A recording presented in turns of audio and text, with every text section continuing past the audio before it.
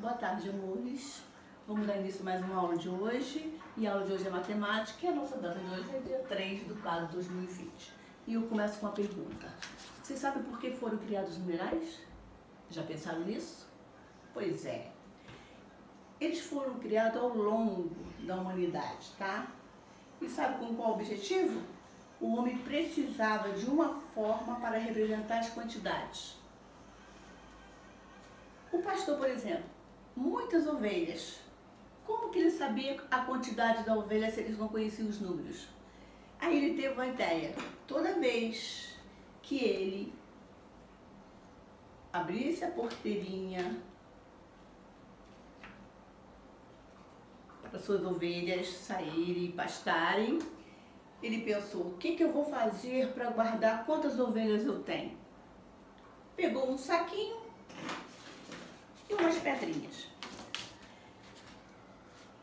E cada pedrinha representava uma ovelhinha.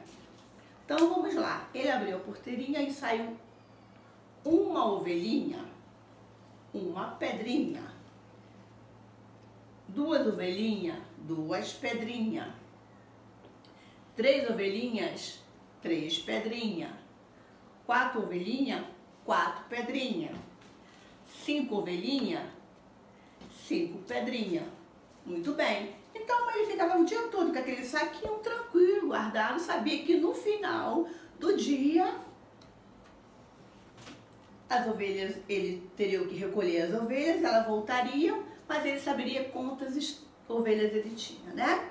Então ele abria a porteira e entrava as ovelhinhas uma ovelhinha, só que ele fazia o contrário, agora ele tirava as pedrinhas do saco.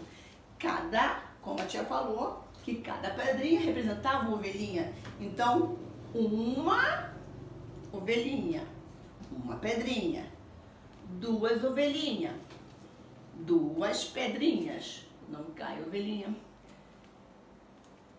três ovelhinhas, três pedrinhas, quatro ovelhinhas,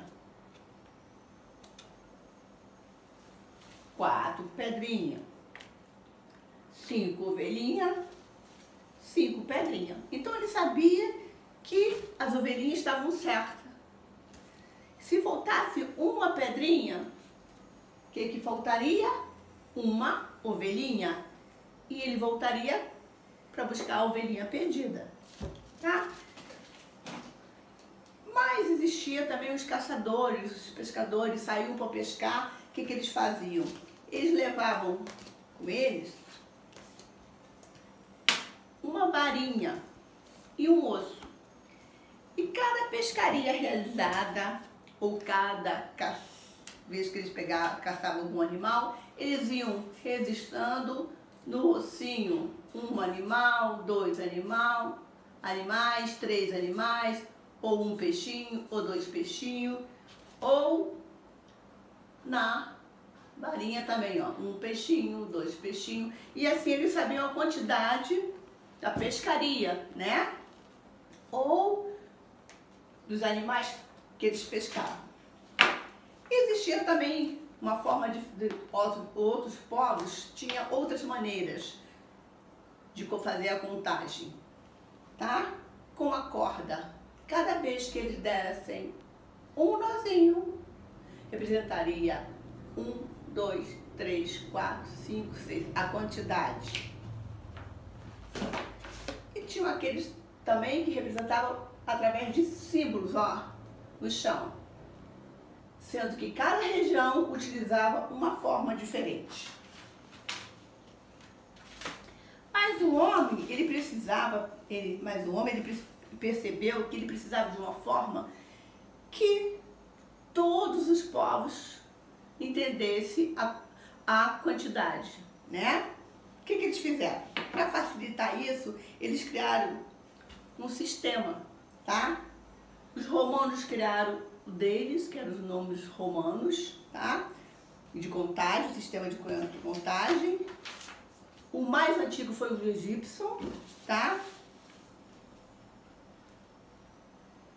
Porém, os números que usamos, os números que nós usamos aqui, ó, tá? Foi criado pelos indianos, tá? Mas foram os árabes que criaram essa forma de contagem e por isso é conhecido como indo-arábico, tá? E o zero? O zero.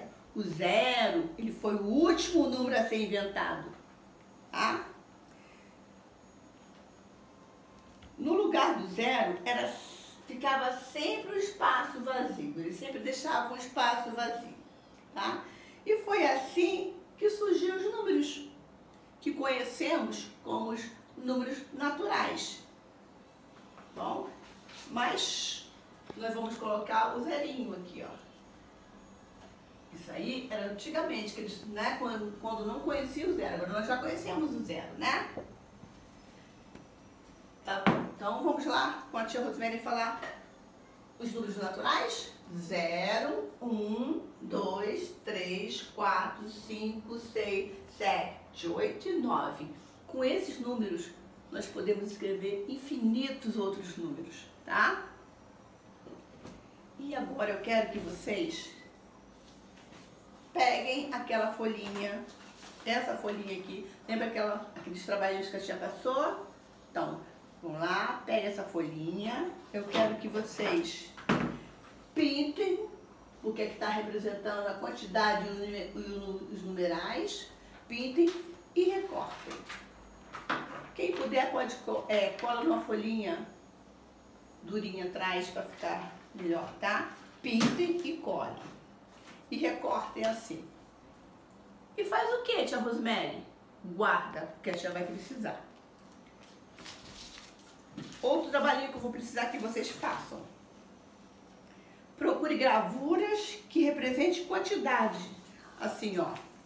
Um mocinho, dois, três, ó quatro ossinhos, dois jacarés, nove maçãzinha, o desenho que vocês quiserem, gravura que vocês acharem, tá? Mas tem que, estar representado até o numeral nove.